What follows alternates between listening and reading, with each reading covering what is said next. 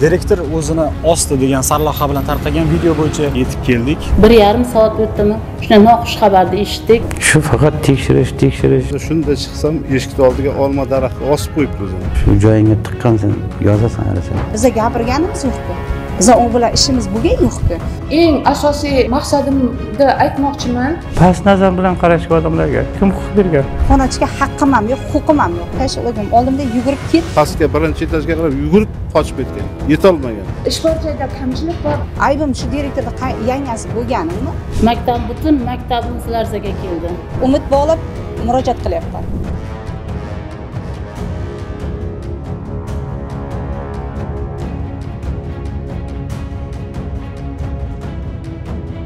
assalomu alaykum. Bemorimiz ergashev muhdim aka to'g'risida gapiramiz. Bu kishi bizaga kanibek tuman tibbiyot birlashmasiga eh, yettinchi sentyabr kuni soat o'n besh nol nolda tushganlar. Eh, birinchi tashxisimiz suitsid holati o'zini osish gipoksik ensefalopatiya tashxisi bilan reanimatsiya bo'limiga yotqizilgan. Eh, o'sha kuni hamma mutaxassislar bilan birgalikda ko'rganmiz. Undan tashqari viloyat shoshilinchdan eh, sanitatsiya liniyasi orqali neyroxirurg va neyropatolog mutaxassislar chaqirilib e, maslahatga chaqirilgan umumiy holati bo'yicha ham maslahatlanish ham keyingi davolash taktikasini hal qilish maqsadida.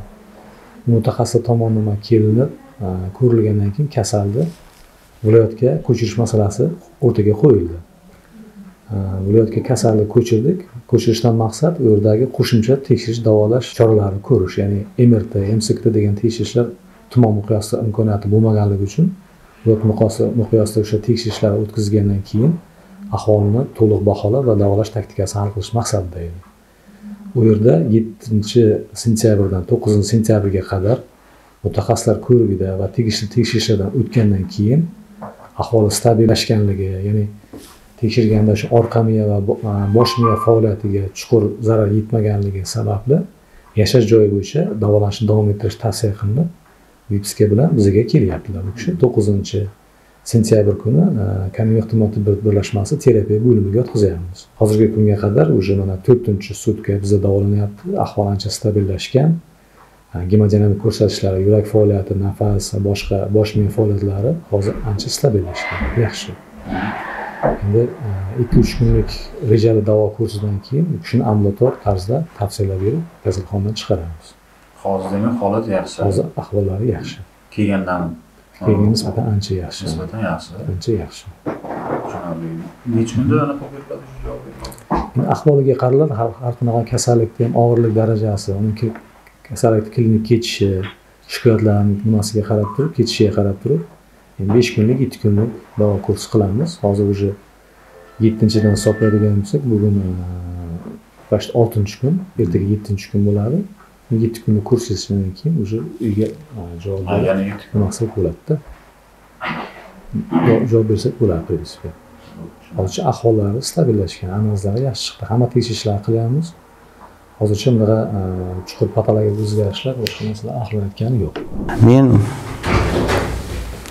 Ergash Muhiddin Ruzbayevich Konimov tumanidagi 2-son umumiy ta'lim maktabiga 2019-yil yanvar oyida direktor turib saylangan edi. O'sha davrda xalq ta'lim bo'limi mudirasi Abdullayev Guzada Raimovna edi. Direktorlik faoliyatini boshlagandan beri birinchi galda o'sha Abdullayev Guzada Raimovna faoliyatini to'sin qila boshladi. Keyin 2021-yili maktabga tekshirishlar tashlab yig'ilishlarda shunday munosabatlar o'zgaravergandan keyin ikki ming yigirma birinchi yili fevral oyida ariza yozdim ishdan bo'shash to'g'risida.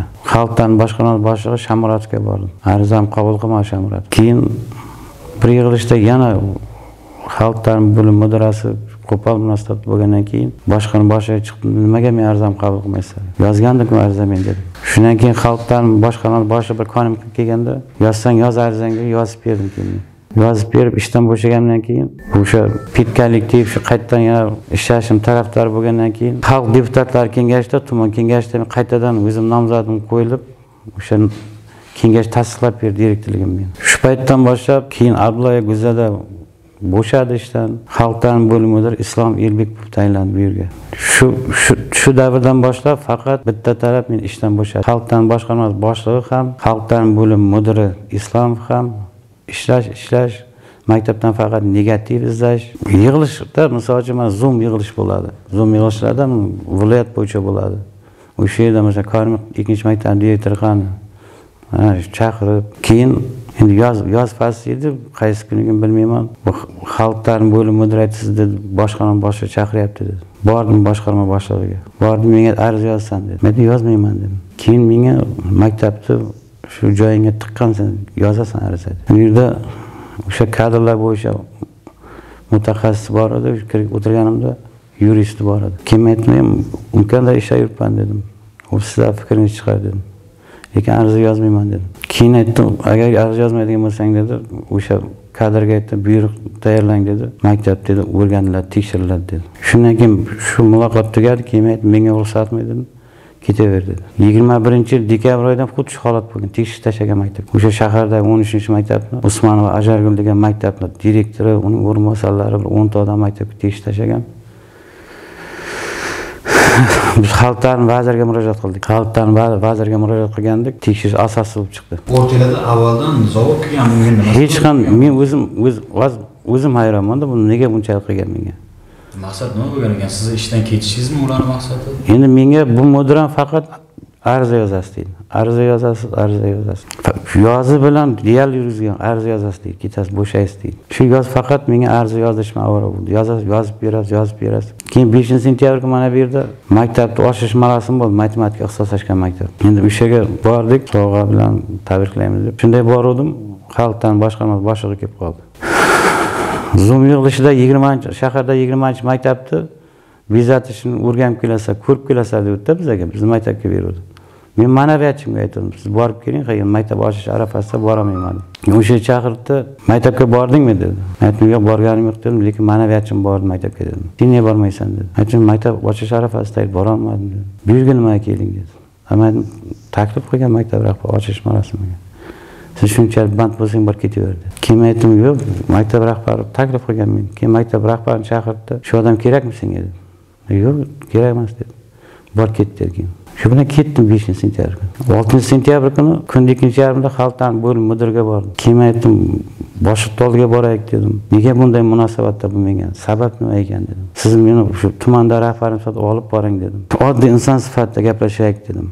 Mayli aytsin menga sabablarini aytsin nega bunday bo'lyapti? Dedim bo'lim mudiri aytdi bugun boramiz yo bugun emas haftani oxirlariga boraylik kiray qobulga men men aytaylik kirib boshqarini boshlig'iga dedim shu bilan boramiz ho'p boramiz dedi. Yettisi kuni maktabga guruh tashlab o'tibdi guruhga maktab tekshiryapti yettitami sakkizta odam kelgan. Obed kecha tekshirdik chiqdi obed ketib qoldi. Keyin ikkinchi smenani darsga kirgizdik. Ikki yildan beri o'zimga olib yuruvdimda mana ichimga yutib yuruvdim. Shundan keyin chiqdim. Chiqqandan keyin o'sha qo'l- uyga borib o'zimga qo'l solganman. Birinchi bozorga borganman ip olganman bilmayman keyin uyga borganman o'zimga qo'l solganman. Uyga borganingizda keyin o'zingizni yozdingiz to'g'rimi Hmm. maktabda bo'lmadi bu narsa? Yo'q maktabda bo'lgan maktabda bular ketgan edi. Ikkinchi smena darsga kirgan edi. Bir yarim bilmish bir yarimda kiradi ikkinchi smena darsga o'ttiz yil ishlaganman o'qituvchi bo'lganman o'quv tarbiya ishlab bo'yicha direktor o'rinbosari ishlaganman ma'naviy ma'rifat ishlab bo'yicha direktor o'rinbosari ishlaganman. O'sha oxirgi uch yilda direktor bo'lib ishlab yurdim o'zim ishlagan kollektiv o'zim o'ttiz yil ishlaganman. Rayonada bir ikki ishlab kelganman mudir o'rinbosari ishlab kelganman. Monitoring bo'limi rahbari bo'lib ishlaganman. Bir besh olti yil bo'lishi mumkin xalq ta'limi bo'limida ishlaganim borib borib. Lekin asosiy mehnat faoliyatim shu maktabda bo'lgan men. O'qituvchilikdan boshladim nima mandan xohlaysan o'shani men oltinchi sentyabr kuni xalq ta'limi bo'limi mudiri islomovga kirganman shu masalada. Ikkinchi yarmida. Boraylik boshqarma boshini oldiga. Nega bunday qilyapti? U degani o'sha besh kuni men shunchalik haqoratlab quvib yuborgandan keyin kiruvdim oldiga. Boraylik boshqarma boshini oldiga. Men shunday oddiy inson sifatida gaplashaylik. Hay aytsin nima xohlaydi? Boraylik degandim shu bilan boramiz dedi. Lekin yettisi kuni boyagi ishchi guruhini yuborib o'tiribdi. Shu faqat tekshirish tekshirish faqat ariza yozasan tamom. Ariza yozasan. O'zim qabuliga ham bordim. Tekshirishashadi nega degan birinchi bordim o'sha yerda borganimda kadrga aytuvdi buyruq tayyorlaysiz maktabni o'rganib chiqasiz. Deb. unga kim huquq bergan? Kim huquq bergan? Hammani ta'limda odam. Man topib bersin kamchiligini. Lekin bir odamga yillar davomida qanday yopishib oladi balkim balkim shamurod darajasiga yetgan chiqar lekin pastki quyi tizimga past nazar bilan tashlashga kim huquq bergan unga? Kim xohlasa tadbirdan quvib yuborishga unga huquq bergan? Kim huquq bergan xonasiga chaqirib ariza yozasan deyishga. Men shunchalik holatga tushib qoldim. Prezidentimizga xalqdan vazirga murojaat qilmoqchi edim. Kim shamuratovga xalqdan boshqarma boshlig'i xalq ta'lim bo'limi mudiriga o'zlaricha ta'limni yopiq holga kiritib olib o'zining hukmini o'tkazish ko'ngli to'sagan ishlarni qilishga kim huquq bergan bularga? Shuni aniqlik kiritib bersin menga. O'ttiz yil ishlaganman ta'limda rahbar bo'lsam uch yil ishlaganman rahbar bo'lib kim huquq bergan? Shomuratov bilan islomlarga o'zini men o'tkazishga past nazar bilan qarashga odamlarga kim huquq bergan?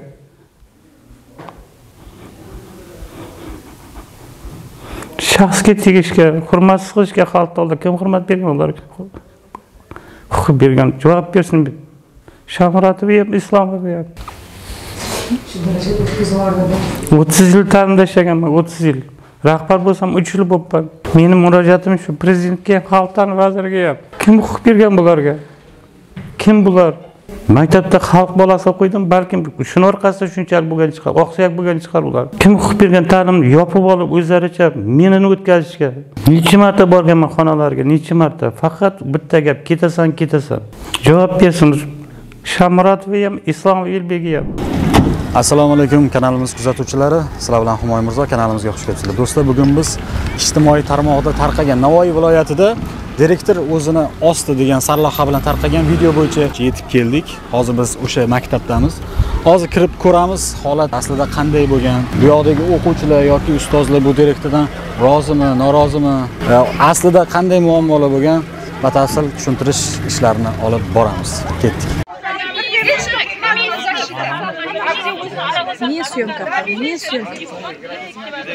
yo'q voy unda nima foyda yuzlaringizdagi sharmanda qilganda nima foyda nima video ko'rganda nima bo'ladi qo'yinglar nima kerak unda bo'ldi endi sharmanda nima bo'ldi bir birilarga baqirgan video qilaman qilaman qo'lim tekkizsa menga. Ruxsat bermayapti organ xodimlari ukasiga xizmat qilishga ruxsat bermayapti. O'chirmayman. O'chirmayman одолжение qilmay gapiring siz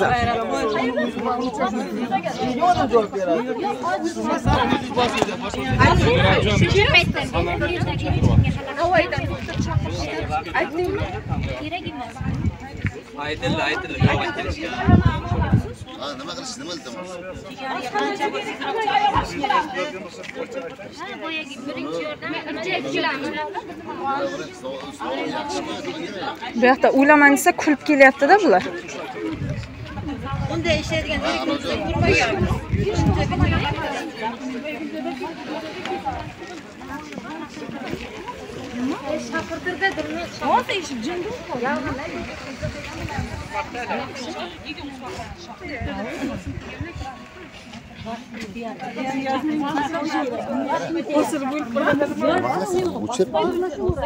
assalomu alaykum. Men navoiy viloyati kolmyoq tumani ikkinchi sonli umumiy o'rta ta'lim maktabida tarix fani o'qituvchisi bo'lib ishlayman. Bundan oldin ushbu maktabda ikki ming oltinchi yildan ikki ming o'n beshinchi yilgacha maktab rahbari sifatida ham ishlaganman. Maktabimiz rahbari ergashev muhiddin ro'zbayevичni qariyb yigirma yildan beri taniyman.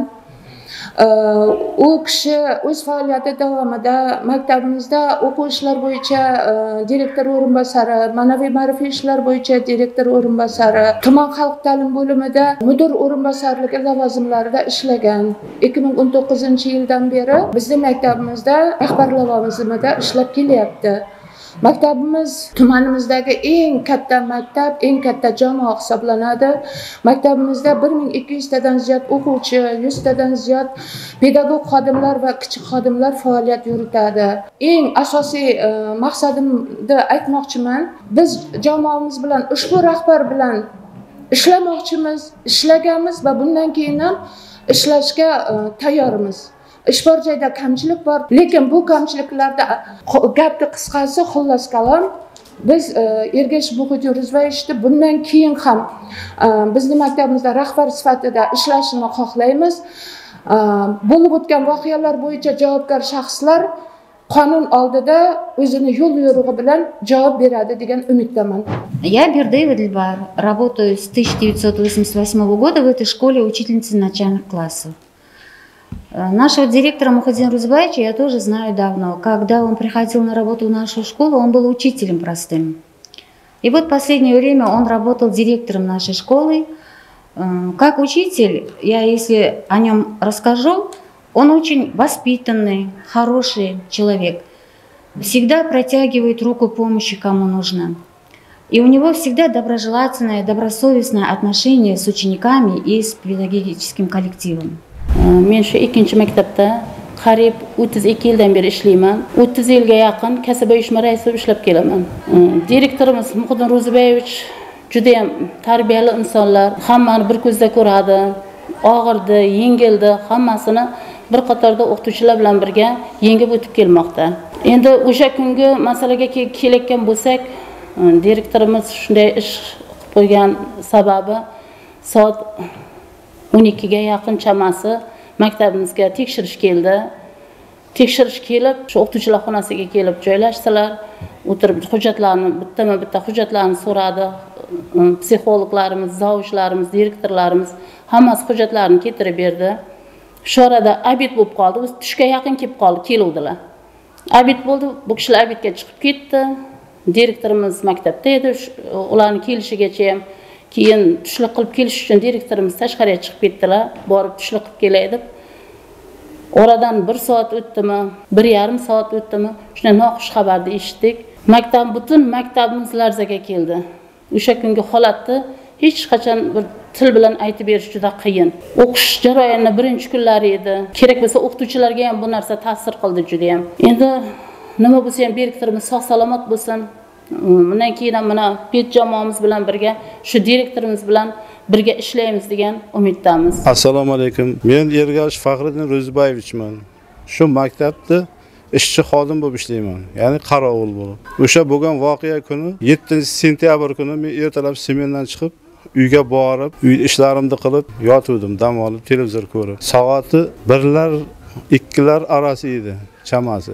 Keldi обед qilasanmi dedim. Yo'q dedi. Xo'sh keyin dam olasanmi dedim. Indamay uydan chiqib ketdi. Men televizor ko'rib yotaverdim. Kino televizor tomosha qilib yotaverdim. Shunda chiqsam eshikni oldiga olma daraxtga osib qo'yibdi o'zini. Chiqsam shunday xirillab yotgan ekan. Pichoqni oldim u shartta pichoq bilan kesib uni tushirib oldim. O'zi shu anavi shundan beri o'zi gapirishga ham anavim yo'q. Ha keyin shu skoriy chaqirdik больницаga yetdik o'zimiz konimex tumaniga. Konimex tumani больницasidan viloyatdan san san aviatsiya kelib shahar viloyat kasalxonasiga yetdik mana o'sha yerda kechasi bilan oldida o'tirdik. Больницаni oldida og'aynilar yig'ilib komadan chiqib o'ziga kelgandan keyin nevrologический отделениеga yotqizdi. O'sha yerda men kechgacha buni oldida o'tirdim. Eshikni oldida dori porilarni olib berdim ovqat povqatini olib berib o'tirdim.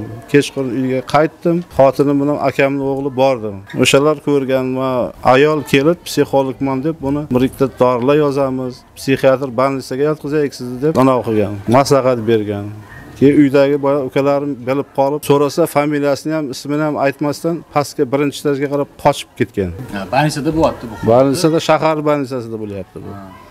Shu chaqirgan familiyangizni ayting siz qayerdan keldingiz desa pastga birinchi etajga qarab yugurib qochib ketgan. Yetolmagan. Ana undan keyin bizlar buni har narsani o'ylab konimix больницasiga olib kelib yotqizdik. Hozir shu yerda davolanyapti. Qani o'zimiz tumanimizda. Hech kimdan so'roqsiz shu ukangiz oldiga kirib uni bilmaymizda qaydan qaydan kelganini ham bilmaymiz. Shu ukam so'rasa familiyasini ham aytmagan ismini ham aytmagan. Qochgan birinchi etajga qarab yugurib tushib ketdi deydi. Va mana shu navoiy viloyat xalq ta'limi tomonidan munosabatlar bildirilib yoziladi har xil telefonlarga. "O, qavmi qarindoshchilik deb men 2006 yili ishga qabul qilinganman bu yerga va kechasi demak ukangiz direktor bo'lmasidan oldin ishga ha men qilingansiz. 2006 yil qabul qilinganman va kechasi maktab tokini o'chirib qo'yarmishman. Ha buni maktab svetini o'chirib qo'ysam bizni qarorxonani ichida milliy gvardiyani nimasi turibdi? Sim kartasi signalizatsiyasi bor пожарный signalizatsiyalar bor. Men nima qilib uni o'chirib qo'yishga? Ana shu ko'chani hammasi bor projektorlar yonib turadi. Men o'chirsam uni tekshirib turibdi milliy gvardiya. Milliy gvardiya kelib sim kartalarni ko'rib ishlayaptimi yo'qmi tekshirib turadi. Ana shunaqa gaplarni qilyapti. Har xil navoiy viloyat xalq ta'limi boshqarmasi boshlig'i tomonidan konimex tumani xalq ta'limi boshlig'i boshlig'i tomonidan har xil bosimlar o'tkazilib direktorga mana shu ahvolga kelib o'tiribmiz mana. Assalomu alaykum hurmatli tomoshabinlar. Men absattarova dilbar bo'laman. Shu maktab ikkinchi nomer ikkinchi maktabda laboranka bo'lib ishlayman ana shu hozir shu holat bo'yicha bo'layotgan direktorni tuqqan yangasi bo'laman birga yashaymiz bir xonadonda. O'sha kuni biz ertalab hammamiz ishga keldik oilaviy. Xo'jayinim uyda edilar men qaynukam ishga keldik ertalab. Keldik hamma ish har doim maromida ketayotgandi o'n bir qirq beshlarda bizga tekshirish keldi dedi. Tekshirishga kutib oldik. Kirgizdik. Hamma narsa joy joyida direktor hammasini qabul qildi.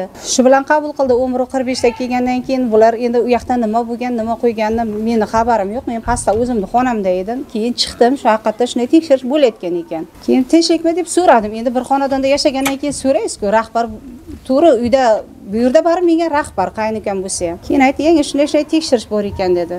Ho'p tekshirdi. Bular o'qituvchi xonasiga kirdi. Hamma narsani tekshirib boshladi.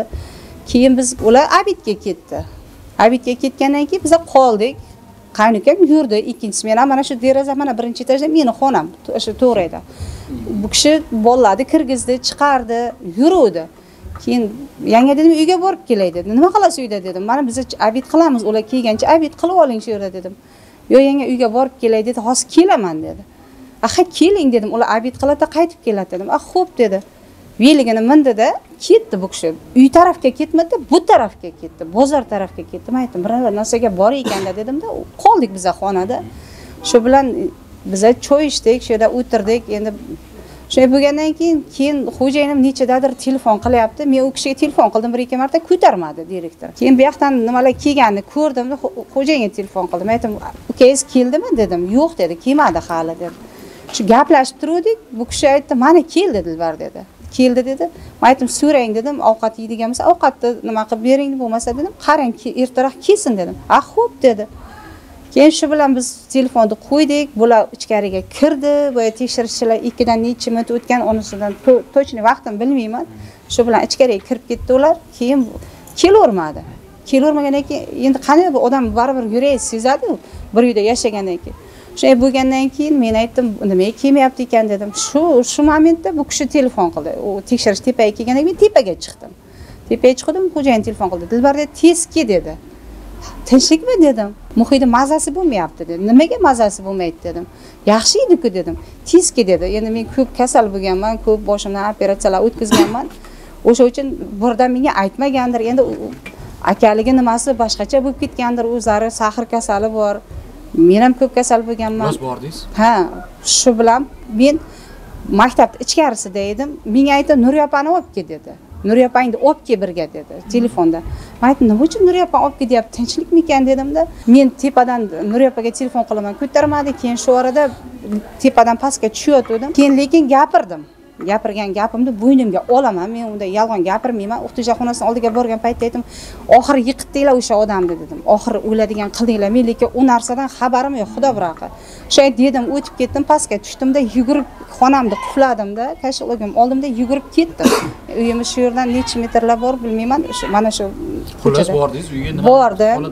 yo'lda ketyapman ham akasi telefon qilaverdi kel tez kel tez kel men skорыйga chaqirdim deb. Ha dedim bordim borsam shu darvozani oldiga boruvdim. Bu kishi chiqdida aytdi ha tinchlikmi dedim mazasi bo'lmayapti dedi. Menga birdan aytmadi. Men bu o'zi yotadigan xona uylari bor bu yoqda o'sha xonaga kirib ketdim uyga? Kirsam uyda hech kim yo'q. Keyin bu yoqqa keldim. Bu uyga kelayotgandim aytdi to'xta qo'rqma dedi. Qo'rqma dedi muhiy o'zini osib qo'yibdi dedi. O'shaga qarasam stollar yotibdi ip yotibdi. Endi o'zingiz ham birdan unday narsani bo'lgandan keyin stressga tushasizku тем более sog'lom emasman sog'ligim joyida emas. Shu bilan urib uyga kirsam u yotgan ekan har har tortib yotgan ekan. Bu qanday olib kirgan qanday qo'ygan? Endi aka ukani nimasi u men u yerda yo'qman.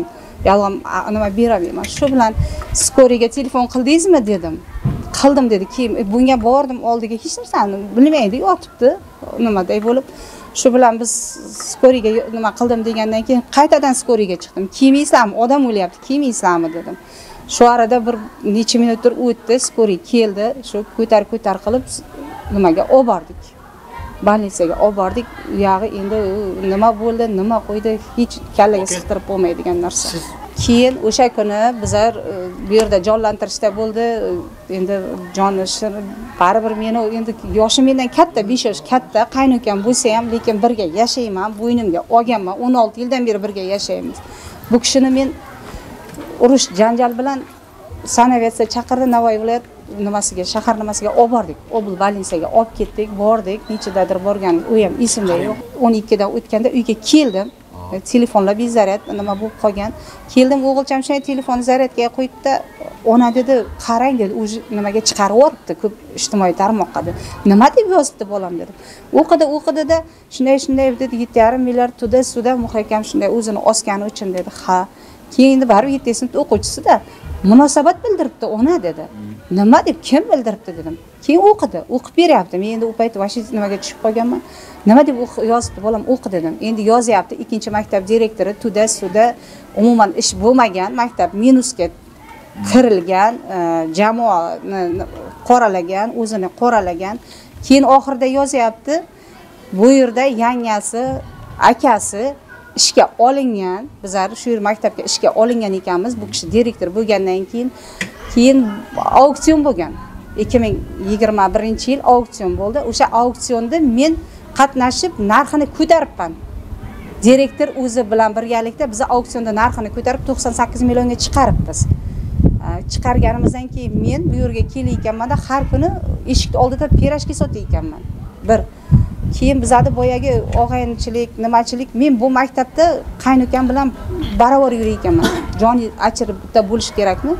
To'g'ri men u birovni burnini qonatgan odam emasman qonatishga haqqim ham yo'q huquqim ham yo'q. Eshikni oldida turaman bitta yarimta tekshirish kelsa qaranglar u qilinglar. Men qaynukamga jonim achigani uchun qilaman. Keyin bu maktabda men o'n olti yildan beri noyiyman o'ttiz ikki yil bo'lyapti ishlaganimga oldin yettinchi maktabda ishlaganman bu yerga o'n olti yil bo'ldi kelganim. O'shandan beri men shu yerda ishlab kelyapman. A men shuncha nima qiladigan darajada men bir qonunni buzadigan jinoyatchi emasmanku. A qaynukamdan men masalan manfaatdor bo'lsam men yarim stavka ishimni qilayotganlar bor bilaman uni. Men juda ko'p eshitganman. Mana boshqarma boshlig'imiz ham o'zini kelinini kadr qilib qo'ygan. Jiyanlari ishlayapti boshqalari qudag'aylarigacha hamma joyda sharoit to'g'ri. Biza gapirganimiz yo'qku. Biza u bilan ishimiz bo'lgan yo'qku. A nima qiladi oddiy xalqqa tiyinib? Biza oddiy ishchi bo'lsak manfaatdor bo'layotgan bo'lsam aytmayman menga bir yarim stavka qo'shib bering yo boshqa qilib bering. Men mana uch yil bo'lyapti. Oldin olganman premiya olganman yordam pul to'g'ri yordam pulni kecha otam qazo qilganiga bir yil bo'ldi. O'sha paytda hay yanga sizga yordamim shuni nima qilib bersangiz e, va- vafot etganlik haqida nima bersangiz men yordam pul beray mayli dedi. O'shani berdi otam ma'rakalari uchun berdi. Hissasidan bergan yo'q davlatni puli edi berdi mayli yordam qilaman dedi. Men boshqa hech qachon yo bir premiya olgan odam emasman yo bir boshqa manfaatdor bo'lgan odam emasmanku. Nima uchun meni buncha qoralaydi? O'shani bir jazosini halol halol emaslikni qilib berayotgan odam topilsa agar men o'shalarga murojaat qilmoqchiman. Bordir prezident bordir vazir bordir. A meni shuncha tuhmatga qoldiradigan darajada aybim nima meni? Aybim shu direktorni yangasi bo'lganimmi biz o'sha kungi holatdan keyin munosabat bildirgan. Ijtimoiy ijtimoiy tarmoq. Boshqarma boshlig'i tomonidan kotibimi endi matbuot xodimimi endi unisini bilmayman. O'sha kishi yozishi bo'yicha yangasi akasi direktor bo'lgandan keyin bu kishini nimasi bu direktor bo'lib saylangandan keyin ishga olingan ekanmiz bizlar. Yo'q bizlar ikki ming oltinchi yil men iyun oyida sveta utarkulova edi u paytda direktor buyurgan. Bu maktabimiz kapremontga tushuvdi birinchi marta men kelganimda o'sha paytda ishga qabul qilinganman. Endi buyruqlarni sonini bilmayman u rahbariyatda turadi meni xabarim yo'q. O'sha buyruqlar bilan shu asosda men ishga olingan. Ishga olinib o'shandan beri faoliyat yuritib kelyapman. Men hech qanaqa unaqa nima yo'q. Xo'jayinimni ham shunday deb aytishgan xo'jayini ham xo'jayinim noyabr oyida ishga kirgan. U sveta utarkulova iyul oyida ishdan ketdilar qozog'istonga ko'chib ketgani munosabati bilan xo'jayinimni noyabr oyida ishga oldi. Biz hech qanday u u yerda yozilgan munosabatga e'tirozimiz bor конечно bizga qilingan tuhmat emasmi bu? Prezidentimiz shavkat miromonovich hurmatli bosh prokuratura xalq ta'lim vazirligi men endi oddiy inson bo'lganim uchun sizdan shuni so'rab qolaman. Men boshqa joyga murojaat qilishni ham o'zimga lozim topmadim. Menga shu shu mavzu yuzasidan menga oydinlik kiritib berishingizni iltimos qilaman sizdan. Amaliy yordam qilib berishingiz uchun sizga umid bog'lab murojaat qilyapman.